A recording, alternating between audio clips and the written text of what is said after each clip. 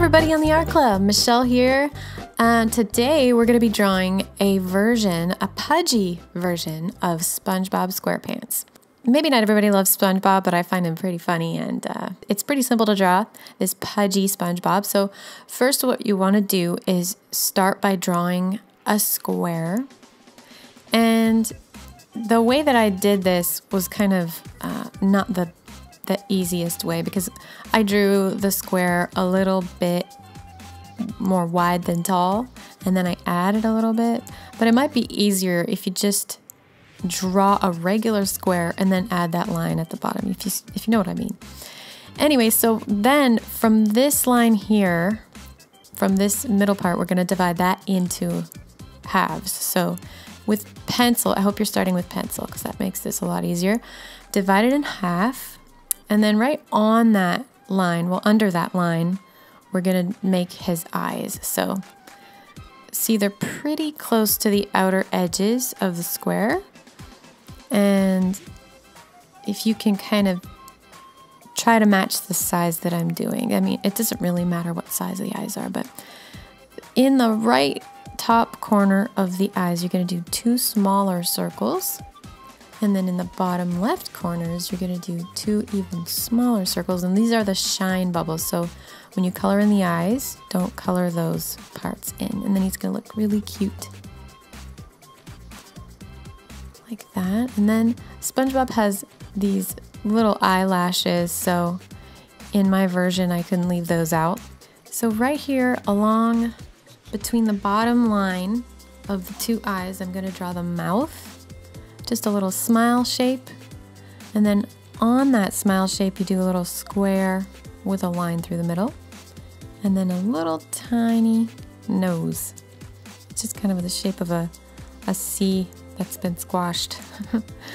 now in the middle, under the chin here, you're gonna do three little V shapes. So that's part of his shirt and tie. And then a little uh, narrow diamond shape under the middle one. That's going to be his tie. And then we're going to do two lines over there and two lines over here. Now, straight under that collar, you're going to do a U, and under the other collar, another U. That's his pants, and two little lines coming out of those make the legs.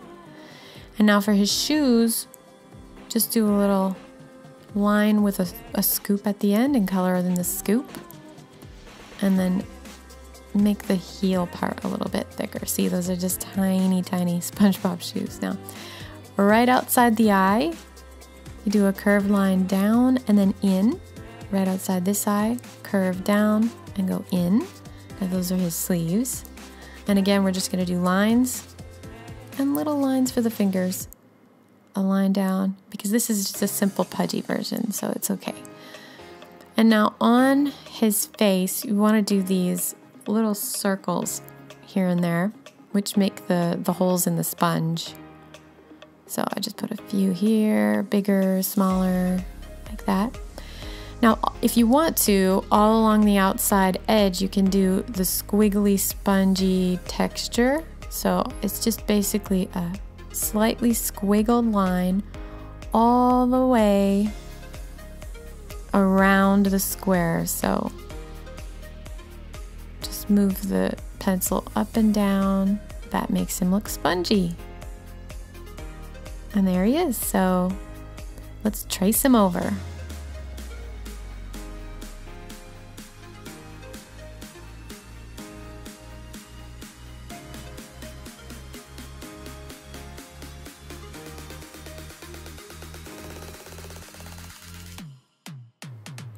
And there is your pudgy SpongeBob.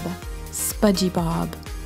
See you guys next time, right here on the Art Club. Don't forget to subscribe if you want to see more videos from us here at the Art Club.